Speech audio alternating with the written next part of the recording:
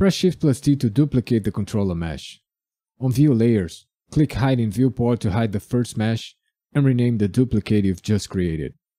Press Tab to go to Edit Mode, Numpad 1 to Front View, and press Alt plus C to enable X-Ray.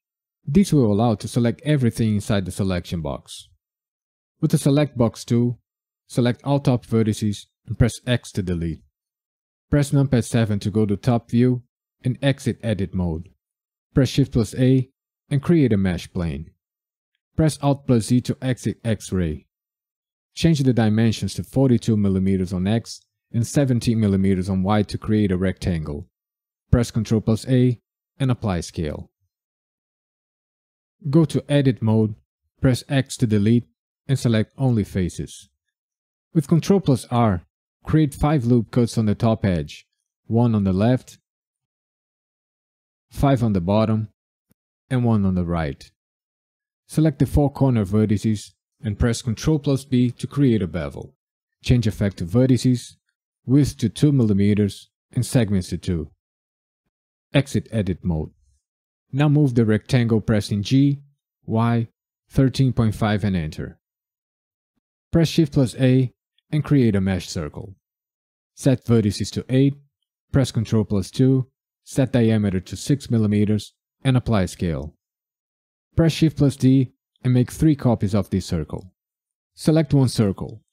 Press G, X, minus 30 and enter, then G, Y, 17.5 and enter.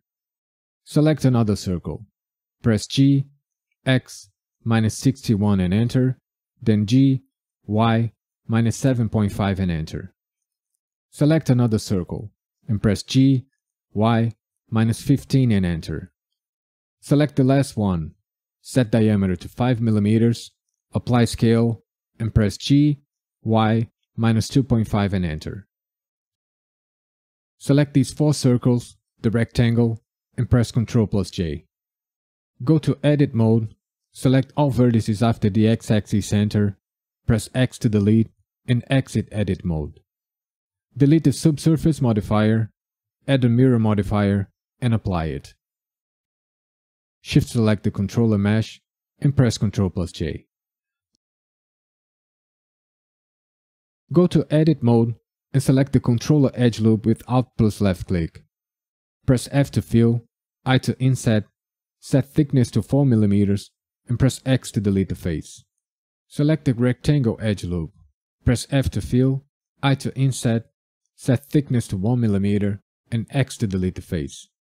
Select the inner rectangle edge loop. Press F3 and select Grid Fill. If it doesn't show on the list, just type Grid. Change span value to 4 and find the offset value until the edges are straight. Select the circle edge loop. Press F to fill, I to inset, set thickness to 0.5mm and X to delete the face. Select this inner circle edge loop, press F3 and select Grid Fill. Change the offset if the edges forms an X shape. Now repeat the same steps with the other three circles.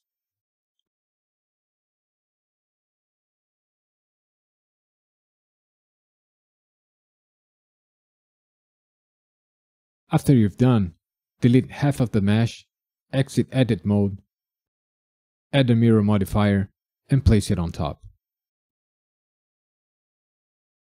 Before we continue, I'd like to say something first. This step has no right or wrong way to complete, unless you are making something like a character that has deformations. As this object is a hard surface model, you don't have to worry that much. The only rule here is to try your best to make quad faces, that are faces formed by four vertices. A lot of time is a back and forth process to find a better way to do it. Now let's start creating the faces. Select these top four vertices and press F to create a new face. Now select this edge and press F two times to create two faces to the left. Select these two vertices and press F to create a new edge. Subdivide once and change the vertex position to align with the bottom circle, which is minus 15 mm on y-axis.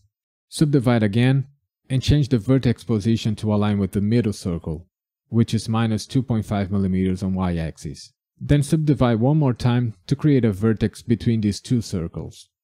Select these three vertices and with clipping enabled, press E X, drag the mouse to the right, and left click to confirm. The clipping will prevent the extrusion to go beyond the x-axis center. Press Ctrl plus R, create three loop cuts, and fill the remaining faces. Now we have the same amount of vertices to connect with these two circles. Press 3 on keyboard to change the face selection. Select these two faces around the middle circle and X to delete. Press 1 on keyboard to change the vertex selection and create the faces around the circle. Now repeat the same steps on the bottom circle. Alt plus left click this edge loop. Press F3 and select grid fill. Change the span value to 5 and find the best offset value. Just aim to match these horizontal edges. Here I'm just placing these two vertices at the center of the circle, which is minus 61 mm on x-axis. Then select this middle one and press X to delete. Do the same to the vertex in the middle of the other circle. Create the faces around these two circles. Here I'm just smoothing the mesh edge flow by moving some vertices and using Loop Tool Space Tool. This part isn't really necessary, but I like to do it anyway. I'm going to do this now, and I'll come back after that.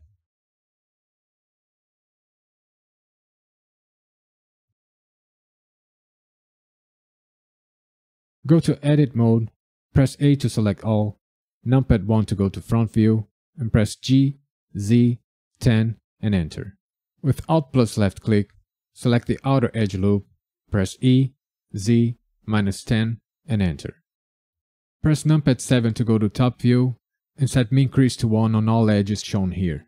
You can do it by pressing Shift plus E, dragging the mouse, and left click to confirm. Or just press Shift plus E, 1 and enter to confirm. Just make sure the crease value is 1. Exit edit mode and apply the mirror modifier. Go back to edit mode. Select these rectangle faces and extrude them down by minus 0.25mm on z-axis. Select this middle circle vertex, press Ctrl plus plus sign to expand selection, and extrude them down by minus 0.5mm on z-axis. Go to top view, select these 5 middle vertices, Press Ctrl plus plus sign to expand selection and extrude them down by minus 10 mm on z-axis. Exit edit mode, right mouse click and select shade auto smooth. Change the Z scale to minus 1 to invert the shape, press Ctrl plus A and apply scale. And with that, we finished the second part of our Super NES controller modeling course. The next video will be part 3, the base mesh details. If you're still here, it means you're liking the content of this course. This took me a lot of time and planning to make it. So please consider subscribe to the channel, like the video, share it, and leave a comment. It's fast, simple, and most important, it's free. Thanks a lot for watching, and see you on the next one. Bye bye.